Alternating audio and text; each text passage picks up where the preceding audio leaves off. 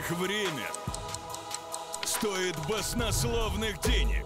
Наше время, оно очень на самом деле дорогое. Их состояние измеряется миллионами. У вас полный ноль. Восемь наставников с огромным жизненным опытом.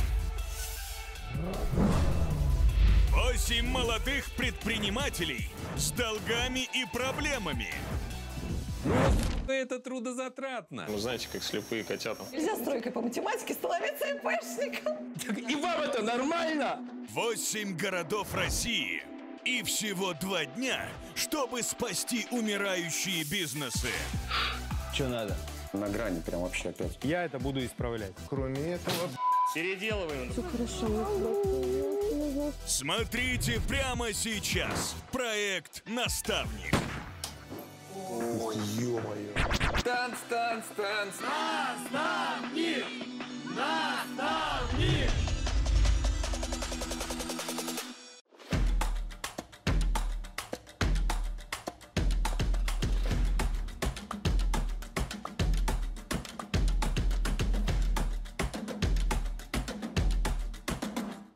Вот МКАД, а вот подмосковный Долгопрудный. Здесь находится кампус Московского физико-технического университета.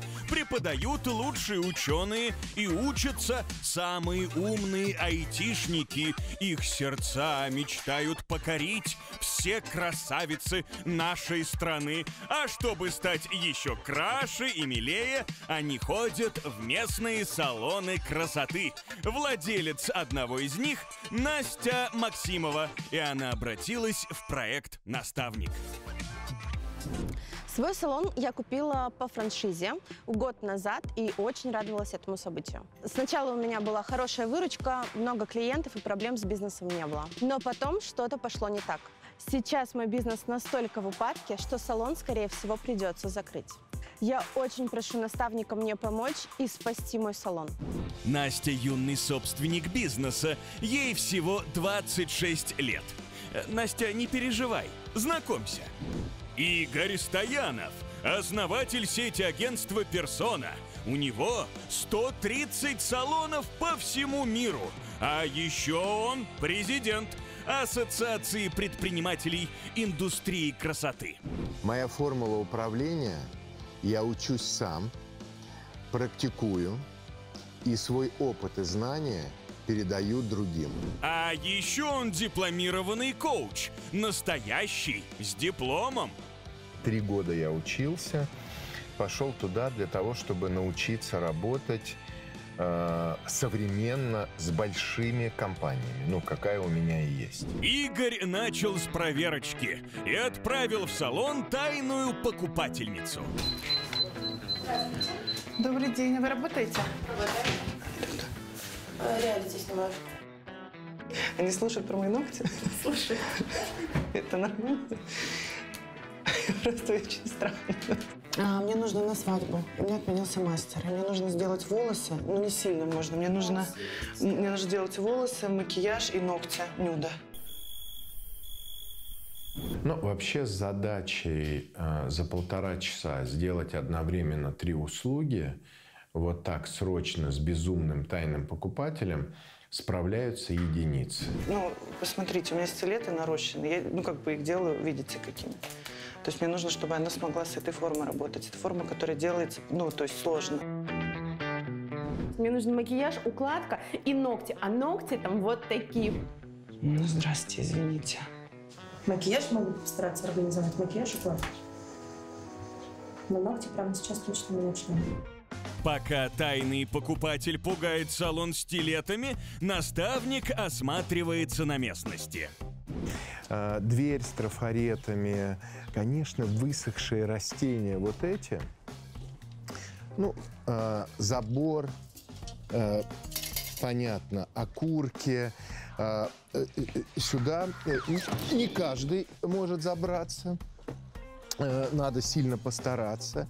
Ну, вот это, ребят, это, вот смотрите, Это ровно три минуты. Пока наставник заботится о цветочках, Настя проявляет чудеса клиентоориентированности. Можем перенести мероприятие чуть позже? Я перенесу свадьбу подруги. Ну, мы просто не успеем за полтора часа. Вы поймите. За полтора часа мне могут сделать ногти. Я бы помыл окна и в них бы сделал цену. Скреплю зубами, ненавижу этот бардак. Хочется оторвать, но не будем. Мы не для этого. Э, Наставники э, не изверги. Наставники человека-любы. А тайная покупательница все продолжала терзать стилетами Настю. Может, у нее есть план, и она его придерживается?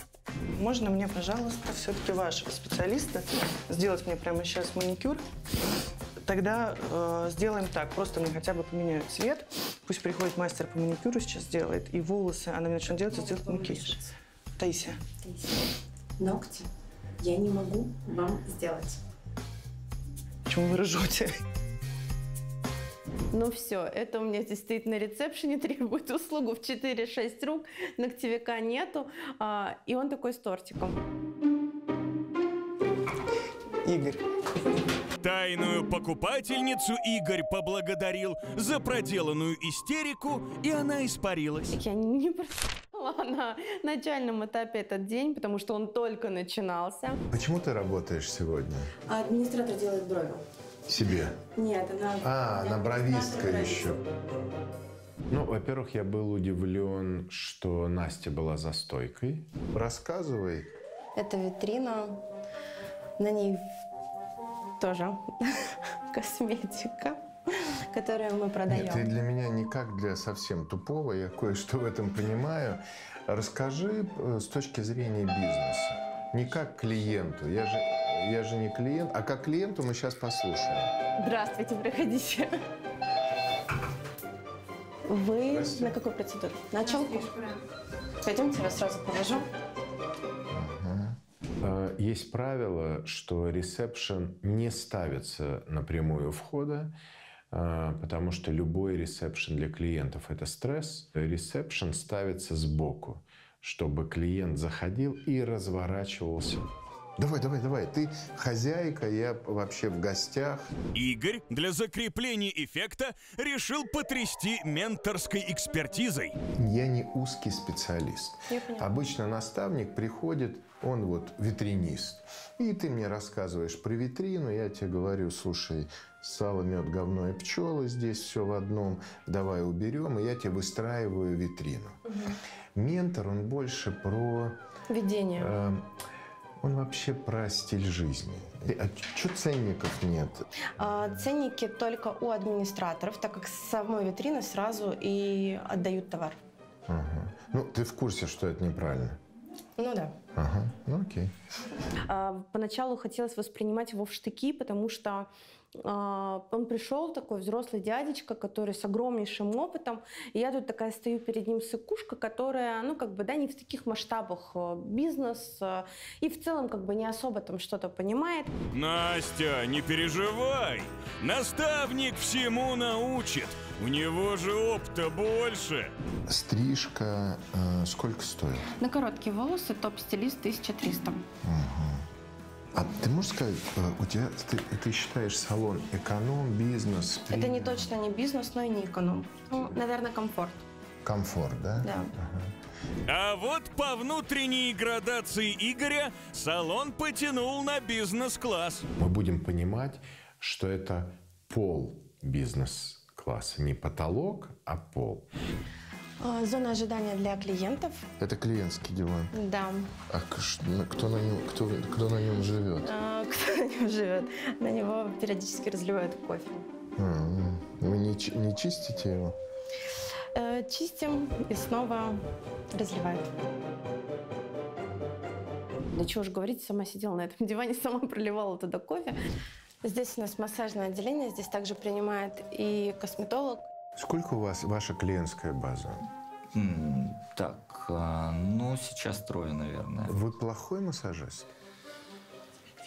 А, Знаете, а я не отвечу вам на этот вопрос, потому что его мастерстве должны говорить другие, а не он сам. Почему? Ну вот я вам скажу, что я, например, э, крутой менеджер, я построил компанию. Прекрасно. А. Я считаю это нескромно. Я скромный человек. Просто три клиента мало. А вы забираете клиентов из этого салона на дом? Я им не даю своего телефона, я их никуда не сманиваю, то есть я веду себя порядочно в этом смысле. Это делает вам большую честь. Если клиент здесь, значит он только здесь. Но проблема не в нем. Проблема в том, что большинство наших клиентов это женщины. Женщины, ну, честно, вот я сама не хожу на массаж к мужчине. У нас э, здесь э, есть специалист, э, доктор по телу Елена. И ее просто нету по той причине, что она уехала в отпуск. Да, желаю, чтобы у вас клиенты были. Спасибо. Спасибо за пожелания. Самое главное, что хотелось в один момент просто его чем-нибудь ударить, а с другой стороны его обнять и сказать спасибо, что ты пришел. А, у меня бизнесовый вопрос. А что это помещение не используется? Да, оно действительно никак не используется. Э, Вот просто в будущем это мой кабинет. Китайцы обычно спрашивают, нахуа? Вот, ну, объясни мне, почему? Ну, я бы сюда просто для того, чтобы его начать задействовать, мне необходимо сюда купить оборудование. Но на это нужны средства, которых как бы у меня нет. Почему? Ну, по той простой причине, что сейчас бизнес не в плюсе. Не в плюсе. Нет. Постояли, помолчали и пошли в маникюрный зал. Ну, все пустое. Ну, неплохой маникюрный кабинет. Очень даже сухожар есть тут. Ну, как без этого? Не, слушай, в стране полно... э, Нет, у нас всё где по сухожара. Ну, это не заводись. В чем же дело, наставник выяснил очень быстро. Дела у Насти настолько не очень, что она совмещает работу в своем салоне и во всей сети франшизы. В франшизе я пришла год назад, потому что сама работала в этой сети, работала от, администратора до управляющей. А Далее решила, что, ну, как бы все, мой опыт уже достаточно, и я хочу в бой. А, Я работаю куратором по сети студий. Э, Вот этой же Инна Морозовой? Да.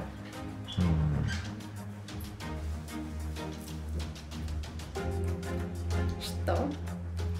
Ты знаешь, э, напоминает мне фильм э, про какую-нибудь секту. А у меня вопрос. Кто такая Инна Морозова? Ну, кто о ней знает? И что вы продаете? Вот если мы приехали к Насте, Да. который еще охренеть куратор у Инны Морозовой. То есть ты в иерархии секты или франшизы этой так называемой где-то там, ну, наверху. Да, но твой салон в убытке. Объясни мне, вы что с Инной Морозовой масштабируете? Не успех твой? Э, какая у тебя выручка здесь? Оборот за месяц? Выручка, да, ну, оборот. Оборот за месяц это 900-миллион. 900 миллионов. Точка безубыточности какая? Я не просчитывала. Не просчитывала. Какая 1800. клиентская база? 1800. Да. Тысяча- Средний чек у тебя какой? В день 2500. Средний чек в день не бывает. Средний чек это не в 2500. день. Ну как, у нас валируется в зависимости от Ребят, того... вы бизнес строите, вы в какой, вы где, откуда это все? Знаешь, что такое средний чек? Когда берется валовая выручка и делится на количество клиентов или услуг в месяц. И у тебя получается средний чек студии. Мгм. Теперь я знаю. Чувствовалась огромная такая сила, с- сила слова. Я не знаю, вот он а, мог в моменте как этим словом убить, так этим словом прибодрить. Чтобы делать выручки 3 миллиона со средним чеком а, 2 500, у тебя должно быть клиентов, горячая клиентская база, такая рабочая, а, где-то 1200 клиентов. У тебя есть 1800. Да, но из них очень многие не ходят. Почему? Потому что ушли за мастерами. Ну, то есть поменялся коллектив, они ушли. Вытягивали их на рассылке, на звонках. Очень многие, кто переехал, кто не хочет ходить. Вот идеально рассказываешь, почему не будет. Предприниматель обычно делает все, чтобы было. Ты. Пока, мне кажется, тебя все устраивает. Нет. Это кажется. Да, ну посмотрим. Собирай людей. Коллектив салона встретил новость о приезде наставника с волнением. Хочете валерьяночки? Да, хочу. Я единственное, за что боюсь, то, что в кадре будут видны мои морщины. Больше я ни за что не переживаю. Здесь решили, да? Конечно. Он нас нашел.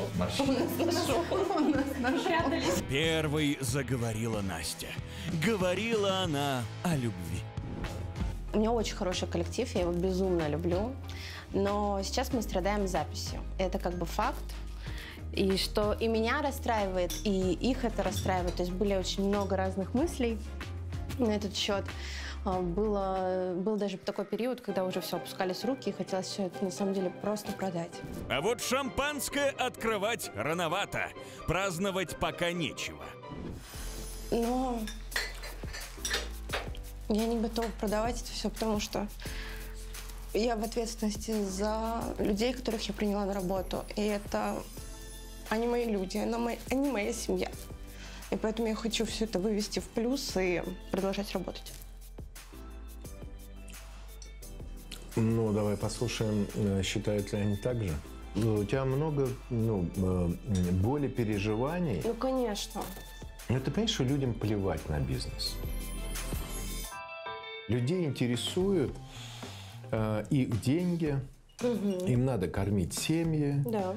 Коль, ты ради чего приходишь сюда каждый день на работу? Да, Игорь, вы совершенно правы ради денег. Ну, а почему нет? А что, я бесплатно должен э, Хрен его свою работу сейчас должны делать? это выяснить. Из-за финансов, потому что я работаю тут за деньги. Но сам факт, мне просто нравится работать э, с людьми. Ради чего ты работаешь? А, я, ну, я, как и все, ради зарплаты. Ну, а ты звезда. На самом деле я не тот мастер, который прям нуждается в работе. У Не меня достаточно. Нет, в деньгах я всегда нуждаюсь. Да ладно. нужны, конечно. Мне сказать, ты А, все я бриллианты просто спрятала дружу вот с. Настей и хочу развить косметологический профиль в этом салоне, потому что косметология это очень прибыльное дело.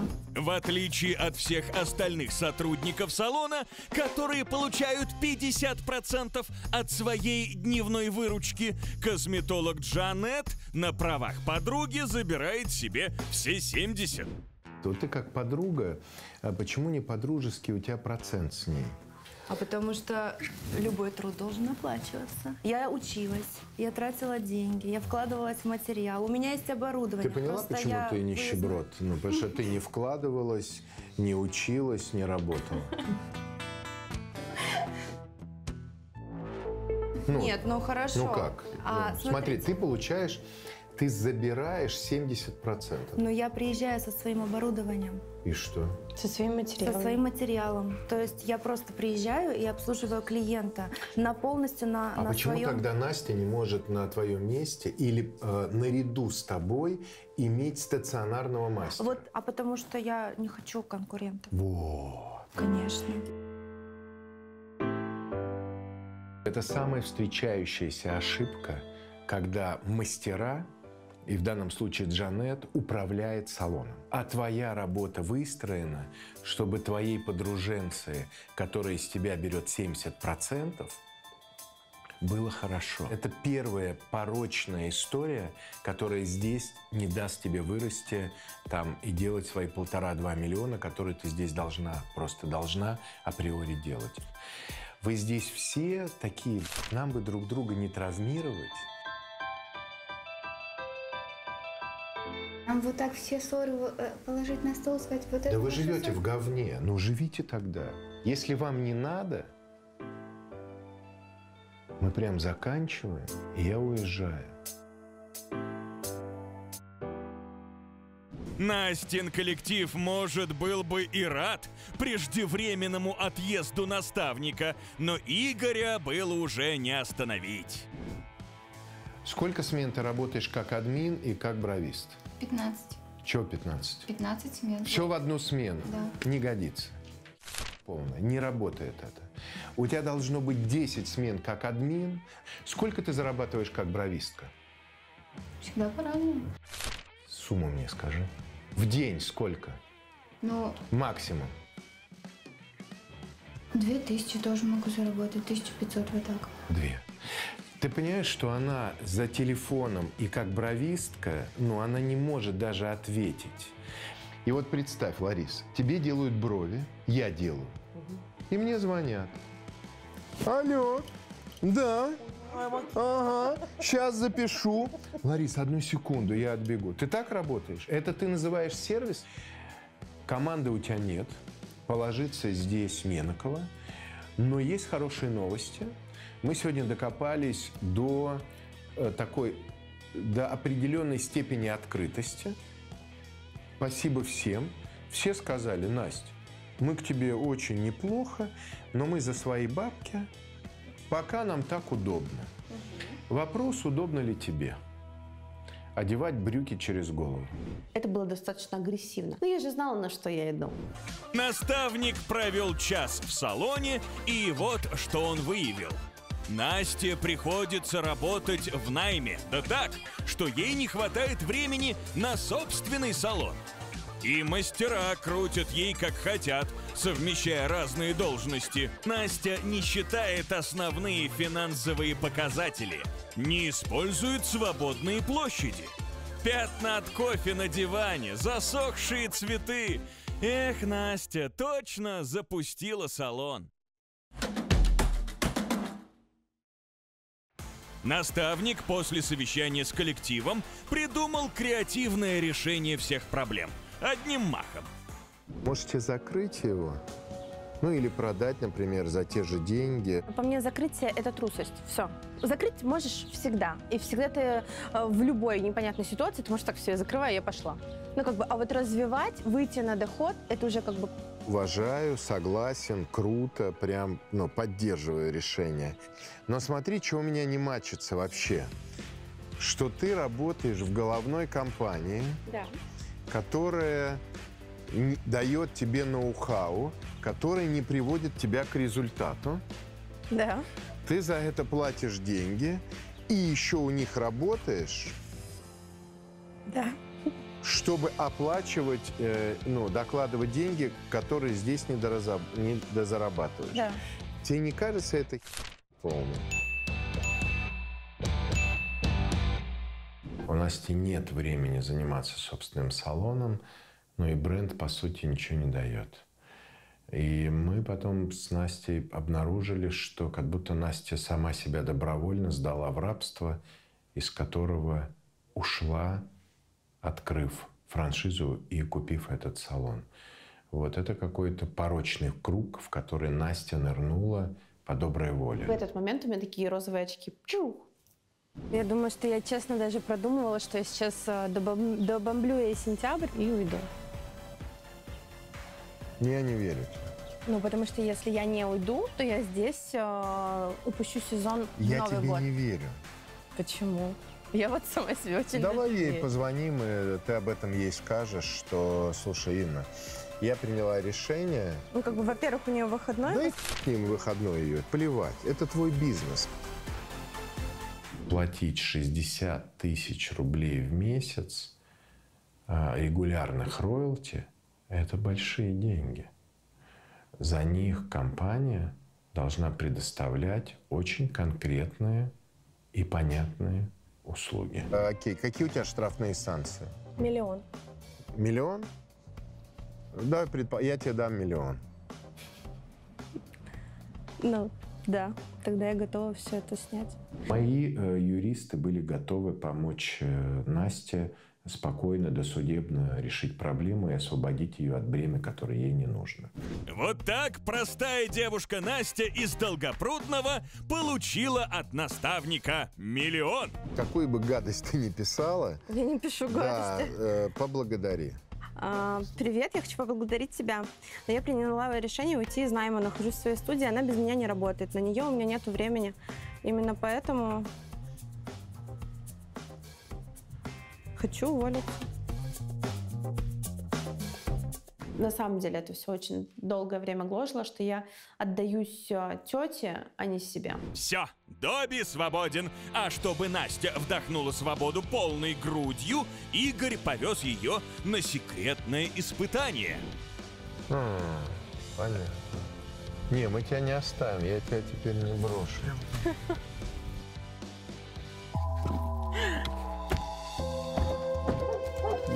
сказать нечего. И? И я придумал для Насти задание прыгнуть с высоты на тарзанке. Слушай, ну она невысокая. Вообще невысокая.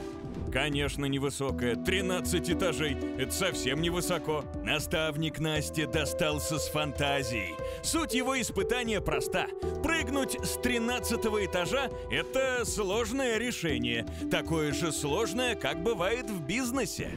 Это очень заманчиво и страшно. Да я сам, думаешь, вот оно мне надо?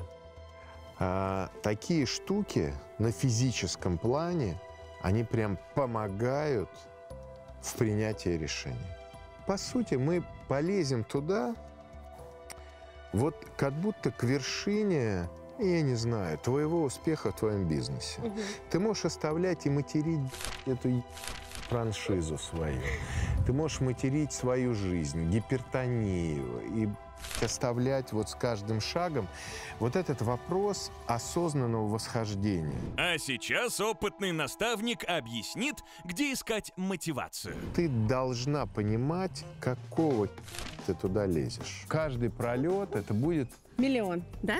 Ну, Я сейчас хотел посчитать 500 тысяч, миллион. Не-не-не, нет, каждый пролет это миллион. Миллион. Да. Отлично. Давай, Настя, вперед! К миллионам!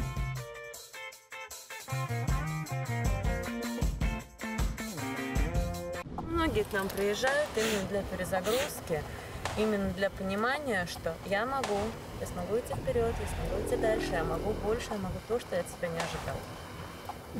Ну что, ты, может быть, переступишь эту штуку?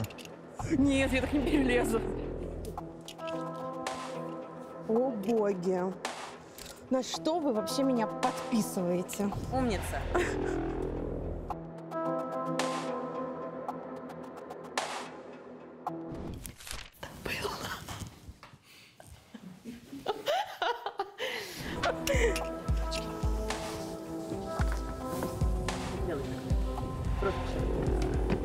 О боже. Что, страшно Настеньке? Да тут всем страшно. Ладно, Настя, уже даже забраться сюда большое дело. И здесь я вообще начинаю сдавать назад и говорить, что нет, я не буду прыгать, не буду, не хочу и не буду. Я не могу прыгать, потому что, во-первых, я астматик, во-вторых, у меня гипертония, это высокое давление, и я понимаю, что как бы вчера я лежала со 170, а сегодня я прыгаю, но как бы это не совсем адекватно. Считаю, что ну, для меня ты, ты прыгнул. Слезайте давайте, вам еще бизнес налаживать, а вы по вышкам лазаете. Настя сильная, сильный шаг сделала вперед. Это большое преодоление. И для меня она прыгнула. Я поняла, что он вообще другой. Ну вот это все, вот это все какая-то была пыль и мишура. Спустилась Настя уже сильным и смелым человеком. Ну и что, сейчас мы можем посмотреть, что там тебе написала? Ответила. Давай. Так.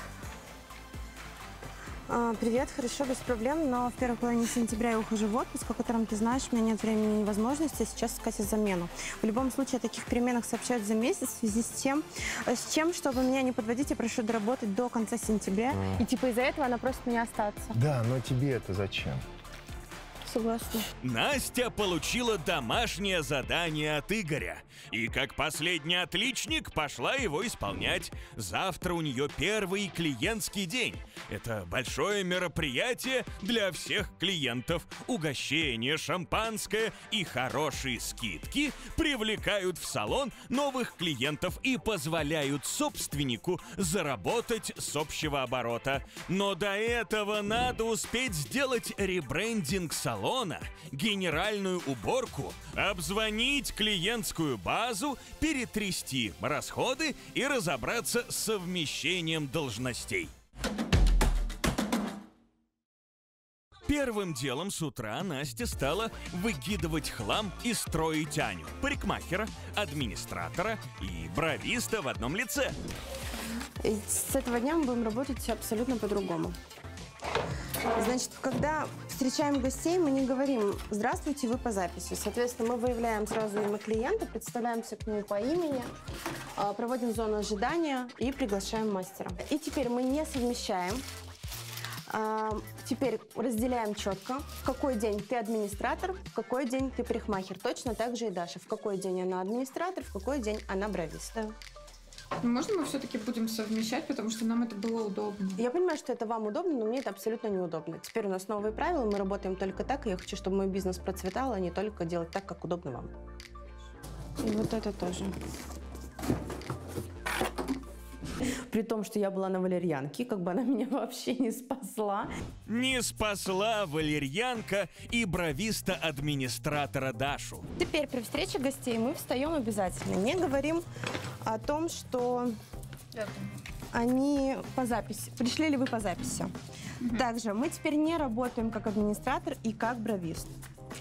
Держит? Да. Идеально. До клиентского дня остается буквально час. А вот и Игорь с его командой. О, вот, ребята, это э, салон Насти. Смотри, они, она, э, кстати, все, э, что мы договорили, забор поправила, а, цветы поменяли, потому что здесь стояли прям э, сухоцветы, и придумала название «Какова красота». Как вам название, кстати? Спорно. Смешанные эмоции. В том месте ставить ударение. Какова, какого, какова. Да, какого. Необычное, мягко говоря, название «Какова красота». Ну да, каково. Да хорош уже разминать, пора посмотреть, каковы изменения внутри. Э, Привет. Здравствуйте. Всем привет. Тебя не уволили. Это уже хорошо. И- и- или, вернее, ты сама не уволилась. То есть Насте уже удалось сделать первое изменение. Разделить функционал, чтобы администратор в один день не совмещал работу специалиста. Это была победа. А, э, знакомьтесь. Меня зовут Дарья. Это мои ребята. И вот первое впечатление у меня, что это надменные люди. Они профессионалы, это видно. А, Что у них хороший стаж работы, что они работают абсолютно в другом сегменте, с другим сегментом. Пока команда наставника осваивается в Долгопрудненском салоне, Настя отчитывается о проделанной работе. Я обзвонила полностью клиентскую базу. Вот она у меня здесь выгружена, каждый помечен. Кто прозванивал? Дарья или э, Э, Мы делала? совместно это делали, то есть э, я дала задание, контролировала, далее села. Сколько звонков сделали? Звонков сделали больше 150 в течение двух часов. Ничего себе. То есть вы звонили, не останавливались. Вообще не останавливаясь. А Насте не удалось вызвать всю команду. Лариса, Джанет, Коля не поддержали ее. Дианя. Она делает брови. Ну как она у нас мастер-класс? Это было такое небольшое фиаско с точки зрения организации рабочего дня. Смотри, я привез людей, Так. привез команду. Вера, Вера, у Веры, Веры, у Веры час стоит. Как, ё-моё, как выручка твоя дневная. Где наши она мастера? Ждем. Я нервничаю. Э, Такое было поведение, будто бы я здесь должна была нагнать 500 мастеров. Не успела Настя закуситься с наставником, как пришла Аня, и наставник почуял свежую кровь. Какая у тебя первая фраза? Вот сел к тебе клиент. Вот ты его первый раз видишь. Что Добрый ты- день. Что будем делать сегодня? Ага, вот это прям, Да? Да, это прям молодец. Это хорошие шансы, что из Ани вырастет мастер, что она самокритичная. Так, э, ну, в экономии это нормально так разговаривать. А, Тань, как бы ты хотела, чтобы с тобой начали разговор? Ну, вообще, я бы хотела познакомиться с мастером. Неплохая идея, Ань. Знакомьтесь. Добрый день, меня зовут Аня. Я буду вашим сегодня стилистом по волосам. Как вас? Как вас зовут? Или как вам обращаться? Как я могу к вам обращаться? Меня зовут Татьяна. И сегодня я хочу А, голливудские локоны. Вы не сделаете?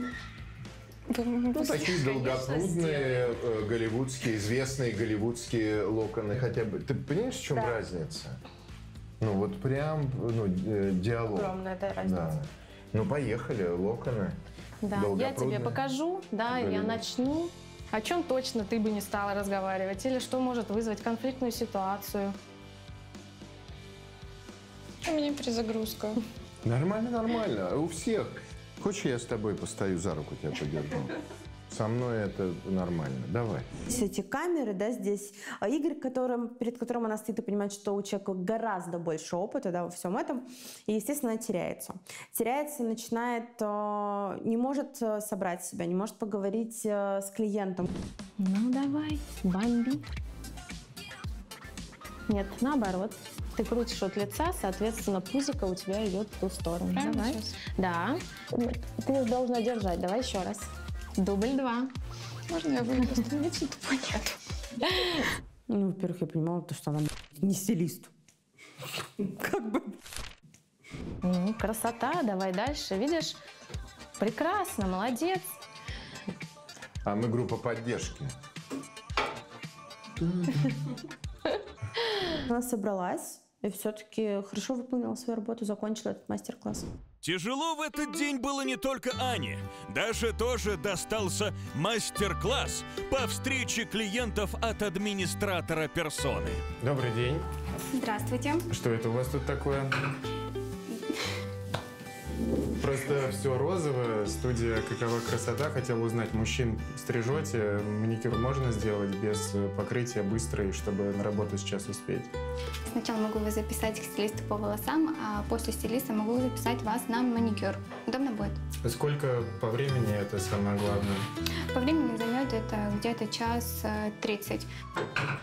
Ну, скорее всего, нет, э, потому что ты не вышла, ты стоишь до сих пор, разговариваешь за стойкой.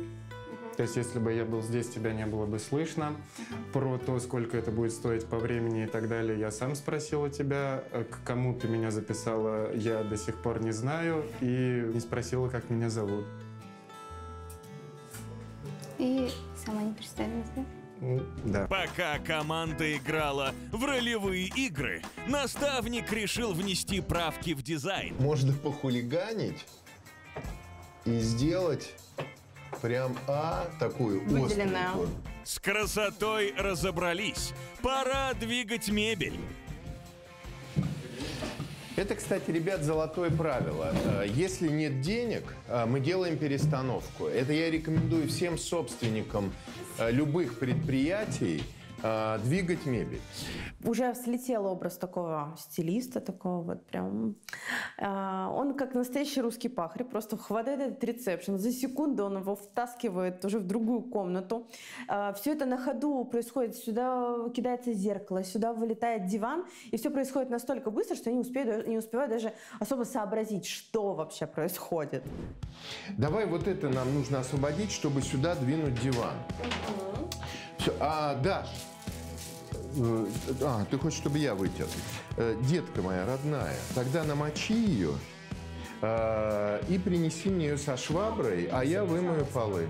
Мне нужна тряпка со шваброй, чтобы я протер пол. Видите, как хорошо? Вы со второго раза поняла. А как ты меня поняла? Мне просто Настя сказала. А как ты меня поняла? Можешь мне повторить? Я поняла Настю, чтобы она, э, что она сказала, чтобы я принесла швабру Ага. С чем? с тряпкой. Мокрой. Да. Отлично. У меня нет таких людей. И не было никогда. И не будет.